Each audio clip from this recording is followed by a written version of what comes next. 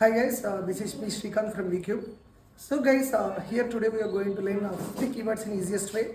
So we are dividing five parts like application level, primitive data types, access modifiers, exception handling, logical statements. Here I am going to explain first uh, application level like uh, we have 14 keywords.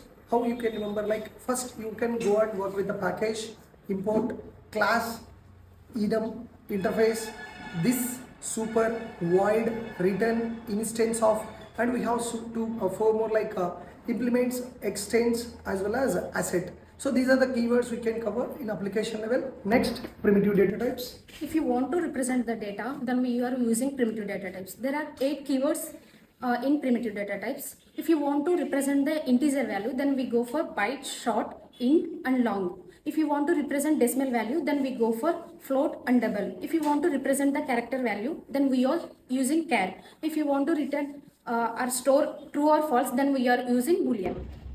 Access modifiers. Access modifiers are used to access the data.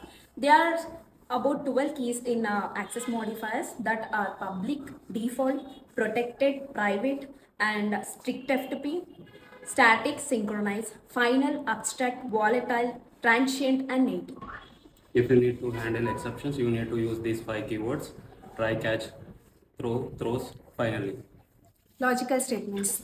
To build the logic inside the programs, we use logical statements. They are for loop, uh, while, do, and uh, if else, break, switch case, and continue, go to, const. So guys, uh, as you just discussed, uh, everything if you want to learn in the easiest way, you can learn Java in VCube. Yes, because we are going to explain each and every concept in a simple way. Because Java is Simple.